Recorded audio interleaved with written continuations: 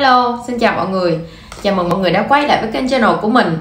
Thì à, những cái video trước á Thì à, Vinh có hướng dẫn cho tất cả các bạn là Tự tiêm botox và tự tiêm filler tại nhà.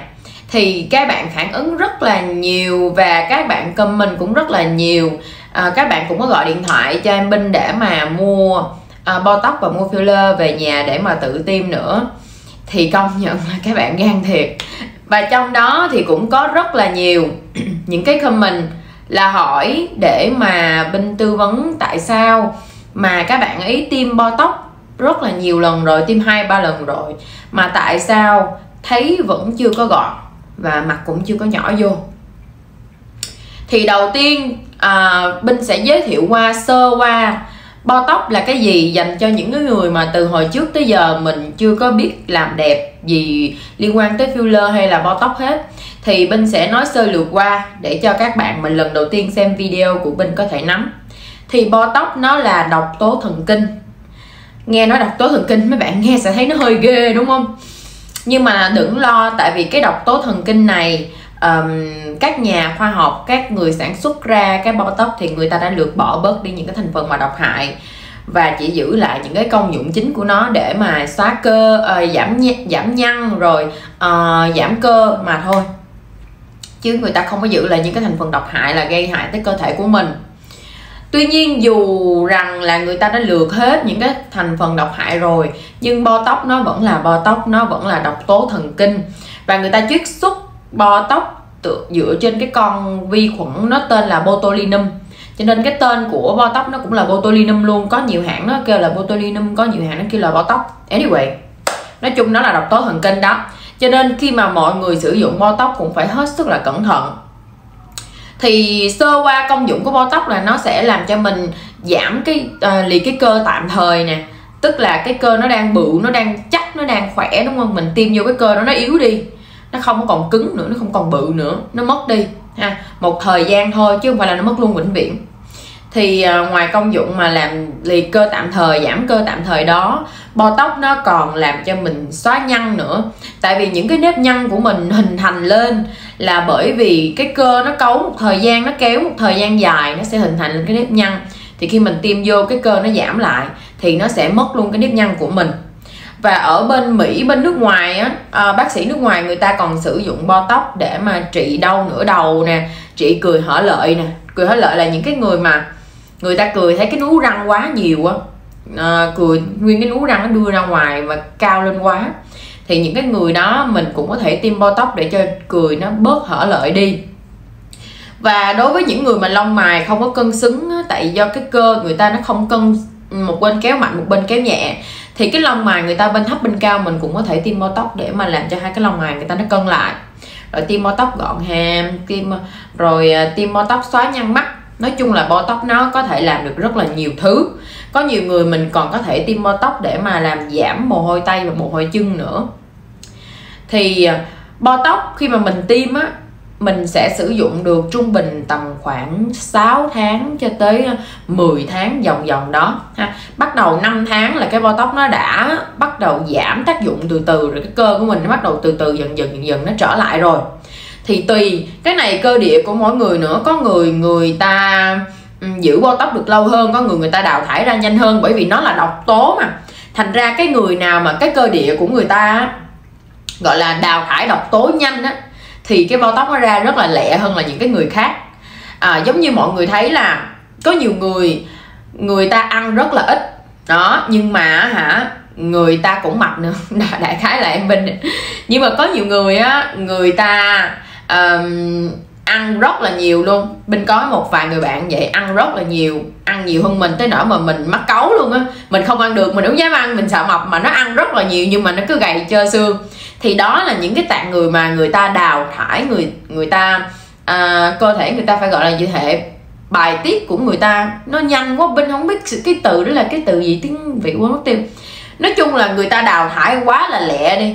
Thành ra người ta ăn vô như là nó đào thải ra rất là nhanh rồi cho nên nó không có mập thì những cũng có cái cái người mà người ta đào thải độc tố nó cũng sẽ nhanh và có người người ta đào thải độc tố nó chậm thì những người nào mà đào thải độc tố nhanh thì cái botox nó sẽ ra nhanh hơn. Rồi right. công dụng của botox nó nhiều như vậy ha. Vậy nhưng mà có rất là nhiều người có thắc mắc là tại sao tôi đã tiêm botox nhiều lần rồi hai ba lần rồi nhưng mà sao cái mặt của tôi nó cũng không có nhỏ? Botox dởm phải không hay là hả à, um, xài đồ đểu phải không hay là tiêm không đúng phải không thì bây giờ theo kinh nghiệm của binh á thì như vậy nè tại vì có rất là nhiều bạn bạn nó kỳ vọng quá cao. Tại sao mẹ minh nói vậy? Là tại vì um, botox á nó chỉ hoạt động được ở những cái vùng nào là cơ mà thôi. Ví dụ như mặt của mình to là do cái xương của mình nó bạnh ra nhiều. Thì tất nhiên là tiêm botox nó sẽ không hiệu quả gì hết trơn. Tại vì botox nó chỉ hoạt động cơ thôi mà cái xương của mình thì mình phải chỉnh xương thôi hoặc là mình phải gọt xương thôi. Chứ còn tất nhiên là botox nó không có thần thánh tới mức là cứ bự ở đâu tiêm nhỏ nhỏ teo lại đó được. Cho nên mọi người phải biết được bản thân của mình. Tức là đừng kỳ vọng quá cao. À, giống như là nó có cải thiện một tí xíu thì cũng được rồi cũng ok rồi. Đừng kỳ vọng là cái mặt của mình đang bự nhầy. Vậy tiêm tóc một cái bắt buộc nó phải nhỏ nó vờ lờ liền phải lai liền là không được. Thành ra có một cách mẹ minh hướng dẫn cho mọi người để mà mọi người kiểm tra xem mình nên làm xương hay là mình nên tiêm botox à quên nữa, cũng có một vài người, cái mặt người ta đây nó bự ra, không phải là do xương, cũng không phải là do cơ, mà là do cái mỡ người ta bị tích tụ cái chỗ này nhiều. Thì cái người đó mình lại phải sử dụng một phương pháp khác nữa. Cho nên cái này mình phải biết tự mình kiểm tra mình hoặc là mình tới bên cái cơ sở làm đẹp á, thì uh, những cái bạn mà chuyên viên tư vấn ở đó hoặc là bác sĩ người ta sẽ tư vấn cho mọi người biết là mình nên làm cái phương pháp nào là tốt nhất. Tuy nhiên tại video này thì ờ, em bên hay hướng dẫn cho mọi người là cách tự tiêm tại nhà. Thành ra bây giờ em bên sẽ hướng dẫn cho một cái cách để mà mọi người kiểm tra luôn Là mình có phù hợp để mà tiêm botox hay là không. Thì đầu tiên nếu mà cái xương mặt của mình thì chắc chắn là nó sẽ không thay đổi được rồi mọi người. Nó cố định một vị trí một ha à, cho nên mình rất là dễ dàng kiểm tra thôi. Thí dụ như cái mình mình muốn kiểm tra coi cái mặt của mình cái cơ nó có nhiều hay là không thì mình sẽ đụng tay vào trong cái chỗ cơ cái cơ nhai của mình này cơ này gọi là cơ cắn nha mọi người. Mình cắn mình cắn mạnh lia mình cắn và giữ mạnh. Nếu như mà cái cục cơ chỗ này nó cứng nó nhảy lên nhảy xuống thì có nghĩa là mình tiêm vô cái cục đó nó mất đi. Là nó nhỏ được bao nhiêu đó thôi ha mọi người kỳ vọng nó nhỏ hơn nữa thì không được. Thành ra, những cái người nào mà cái cục cơ chỗ này của mình á càng to, càng bự, thì mình tiêm botox vô, mình sẽ thấy là kết quả nó đem tới càng nhiều. Còn những người nào mà cái mặt mà cắn lên, không có thấy nó bự lên bao nhiêu hết trơn, nó chỉ nhích nhích cái tí xíu thôi, thì mình tiêm mình sẽ, tất nhiên là nó sẽ không thấy hiệu quả nhiều. Là tại vì cái cục cơ đó của mình ít, mình nên chọn phương pháp khác hoặc là mình vừa cả tiêm botox mình vừa cả tiêm tan mỡ hoặc là lấy túi mỡ má xong kết hợp cả gọt xương thì tất nhiên nó sẽ gọn rồi. Giống như mặt của em Minh là em Minh vừa gọt xương lại vừa tiêm botox vừa có cả lấy túi mỡ má luôn. Chứ hồi xưa mặt của em Minh rất là bạnh rất là bự luôn á mọi người, rất là bạnh và rất là bự. Đây. Thành ra khi mà các bạn kiểm tra cái cơ hàm của mình rồi, biết chắc chắn là cái cơ hàm của mình to, thì tiêm botox chắc chắn nó sẽ hiệu quả và tất nhiên là các bạn phải tiêm đúng kỹ thuật nữa nha. Chứ tiêm, tại vì rõ ràng là botox nó chỉ hoạt động được trên cơ mà thôi. Nếu mà các bạn tiêm đúng vào trong cái chỗ này, nó không có cơ, nó chỉ là cục mỡ thì nó cũng sẽ hoàn toàn không có một tí xíu nào hiệu quả hết. Cho nên mình phải tiêm đúng vào trong cái sớ cơ của mình. Khi mà mình tiêm botox xong, hai tuần lễ sau bắt đầu cái botox này nó mới hiệu quả. Bắt đầu nó mới gọn vô từ từ. Thì cái lúc này, các bạn sẽ cảm thấy là cái cơ của cơ hàm mình nhai á, nó rất là mỏi, rất là mỏi và mình cảm thấy nhiều khi còn ê răng nhẹ nhẹ nữa. Đó khi mà mình mới tiêm botox xong nhiều khi mình thấy nó hơi tăng tăng lên cái đầu tí xíu không sao mấy tiếng sau nó hết. Và à, khi mà mình mới tiêm botox xong một cái lưu ý nữa cho mọi người là mọi người đừng có ăn đồ cứng trong vòng vòng tầm khoảng ờ, 1 tới 5 ngày sau khi mà mình tiêm là không ăn đồ cứng không ăn kẹo sinh gum mà cứ nhai nhấp nhấp nhấp nhấp hoài nè.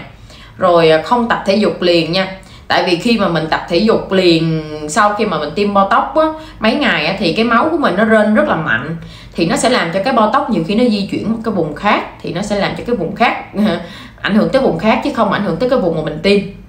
Và một cái nữa là mọi người à, không có massage và di mạnh vào trong cái chỗ mà mình vừa mới tiêm botox thì nó cũng sẽ làm cho cái bông tóc của mình nó chạy đi. Một cái lưu ý nữa là vì bo tóc nó sẽ làm ảnh hưởng tới ờ, cái vùng cơ đó của mình, nó làm liệt cơ tạm thời, cho nên đặc biệt những người nào mà bị bệnh nhược cơ, mình tuyệt đối không tiêm bo tóc luôn nha mọi người, tại vì nhược cơ là cái bệnh tự miễn. Nó làm cho cơ của mình tự nhiên sụi, tự nhiên nhược, mà mình còn tiêm thêm cái bo cái bo tóc nó làm nó làm thêm trầm trọng cái bệnh của mình. Cho nên mọi người phải là cẩn thận là khi mình tiêm botox đặc biệt không được bị bệnh nhược cơ. Nếu mình bị bệnh mình phải biết là mình không được xài cái đó. Rồi à, những cái người mà đang có thai và cho con bú cũng không được xài nè. Tất nhiên đang trong chu kỳ kinh nguyệt thì mình cũng nên tránh không nên tiêm vào ngay cái thời điểm đó. Gì nữa nha? Ừ, thế thôi. Và khi mình tiêm xong thì mình cũng đừng nên mà rượu bia rượu chè thuốc lá chứ thích này kia. Sớm quá tầm khoảng xong tuần lễ đi đừng muốn làm gì làm ok hy vọng là sau cái video này thì tất cả mọi người đã hình dung được là tại sao khi mà mình sau khi mà mình tiêm botox nó không hiệu quả.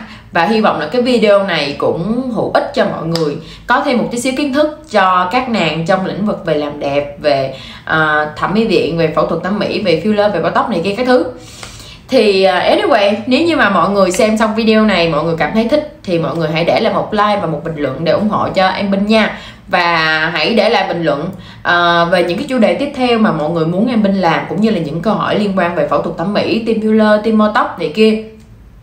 Em Binh sẽ cố gắng mang hết những kiến thức của mình tích góp được trong 6 năm làm nghề beauty để mà uh, mang đến cho mọi người những cái uh, kiến thức chuẩn và những cái và thêm những cái động lực để cho mọi người uh, thay đổi bản thân làm mới bản thân làm đẹp bản thân mỗi ngày. Ok cảm ơn mọi người đã xem hết video của em Minh. bye bye. Ý, quên. Nhớ subscribe và bật quả chuông thông báo nha mấy tình yêu.